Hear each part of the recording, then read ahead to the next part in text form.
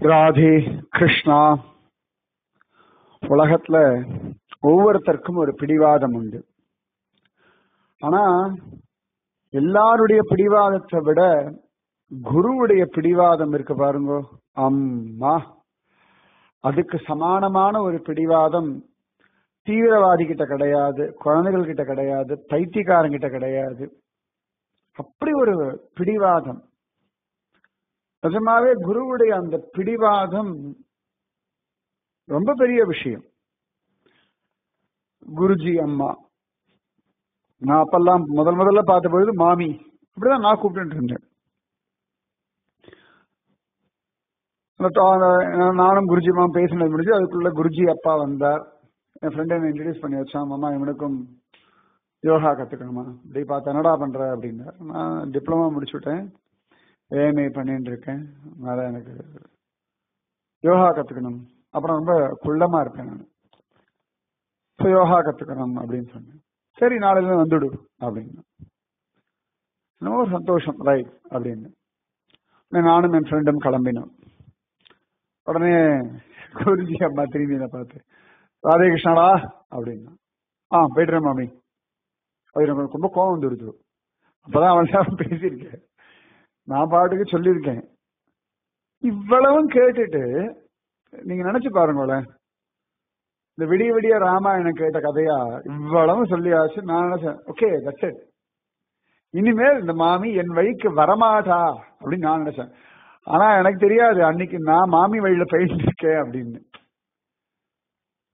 எனக்கு ரொம்ப அப்படியே ஒரு ஷாக்கிங்கா இருந்தது.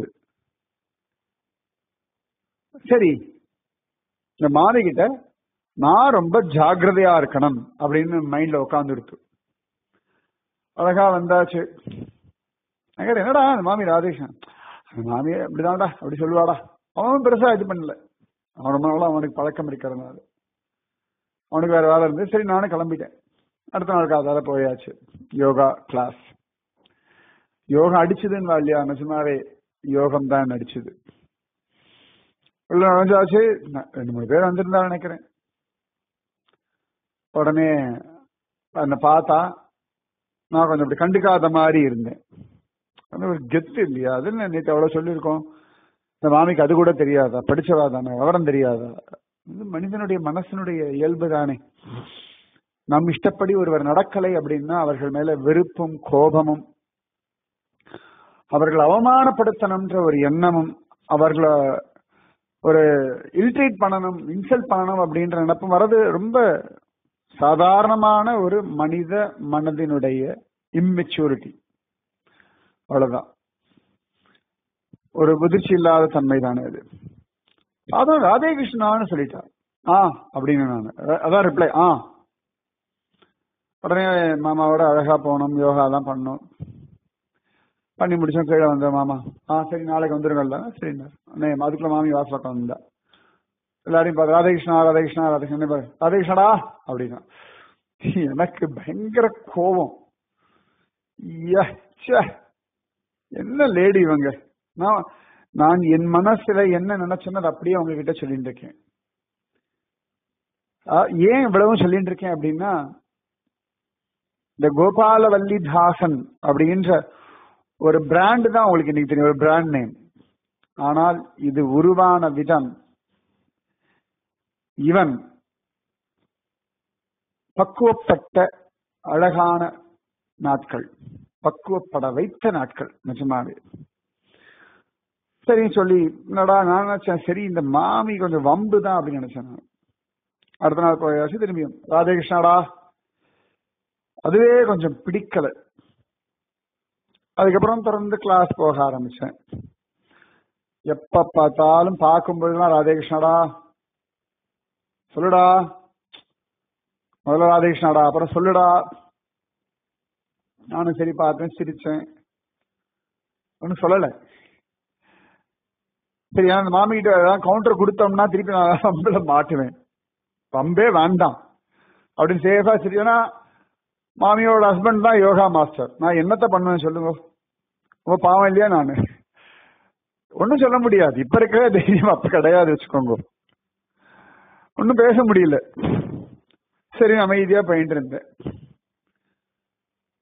ஆச்சு ஒவ்வொரு நாளும் ராதேகிருஷ்ணாடா ராதேகிருஷ்ணாடா சொல்லுடா அப்படின்னு நான் அப்படி உடனே தலையாட்டி எல்லாம் மாட்டேன் அப்படின்ற மாதிரி. போயிடுறேன் மாமி அப்படி சொல்லிட்டு மரியாதை சொல்லிட்டு போயிடுவேன்.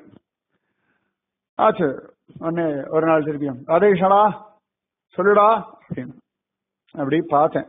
பெருசா ஒன்றும் எக்ஸ்பிரஷனை எக்ஸ்பிரஸ் பண்ணவே இல்லை. உடனே குருஜி நீ சொல்லுவ அப்படின்னா எனக்கு இன்னும் கோவம் வந்துருத்து என்னடா அது? சொல்ல மாட்டேன் நான் முடிவு பண்ணிருக்கேன் நான் சொல்லுவேன் அப்படின்றாள். பாத்துருவோம். ஆனா நிஜமா எனக்கு தெரியாது இதெல்லாம் வந்து என்ன அப்படி இந்த தூண்டி விடுறது அப்படின்னா தெரியுமா? சாதாரணமா சொல்லுவா. இந்த குரு மகிமையில சொல்லும் பொழுது இந்த குரு என்ன பண்ணுவாளாம்? இந்த குழவி மாதிரின்னு சொல்லுவா. அந்த குழவி என்ன பண்ணும் ஒரு புழுவை கொண்டு வந்து தன்னுடைய கூட்டுக்கு வச்சு கொட்டி கொட்டி கொட்டி கொட்டி கொட்டி கொட்டி இந்த புழு வந்து இந்த குழவிய நினைச்சு நினைச்சு நினைச்சு நினைச்சு நினைச்சு தானும் அதுவாக மாறிடும் அப்படின்னு சொல்லுவா. ஆனா நிஜமாவே எனக்கு அன்னைக்கு தெரியவே இல்லை. நான் இன்னைக்கு யோசனை பண்ணி பாக்குறேன்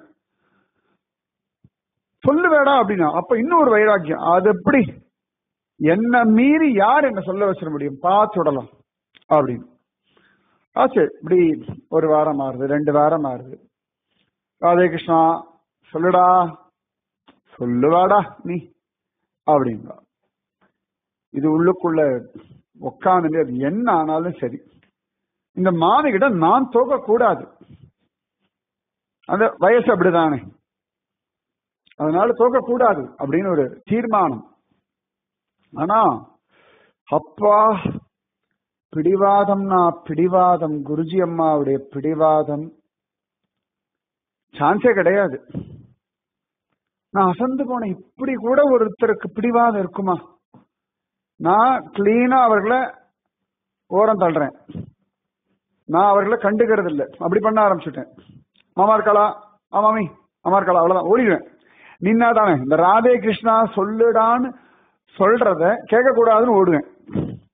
இந்த கண்டாக்கரன் காதுல மணியை கட்டிண்டு நாராயணான்ற சப்தம் கேட்கக்கூடாதுன்னு மணி அடிச்சுப்பா மாதிரி ஓடுவேன் நான் பார்த்தாலே. கிளாஸ் முடிச்சோடனே வீட்டுக்கு ஓடிடுவேன். கிளாஸுக்கு வந்தா நேரம் திரும்பி மாடிக்கு போயிடும் மாடியில் தான் கிளாஸ் நடக்கும். ஸோ பக்கத்துல இருந்தா எஸ்கேபிசம் தானே தப்பிச்சிருவோம் அப்படின்னு ஆனா தப்பிக்க விடல என்ன? விடாம சொல்லிட்டு இருந்தா. ஒரு நாள் பார்த்தோம் ரொம்ப பயங்கர கோபம் வந்துடுச்சு எதானும் இந்த மாமியோட வாயை அடைக்கணும் அப்படின்னு ஒரு தீர்மானம் வந்துடுத்து என்ன பண்ணிருப்பேன்? நாளைக்கு சொல்றேனே. நானும் என் குரு நிஜமாவே என் குரு இல்லைன்னா நான் யாருன்னு எனக்கும் தெரியாது உலகத்துக்கும் தெரியாது. ராதே கிருஷ்ணா. ஜெய் போலோ பூஜ்ய ஸ்ரீ ஸ்ரீ அம்மாவுக்கு ஜெய்.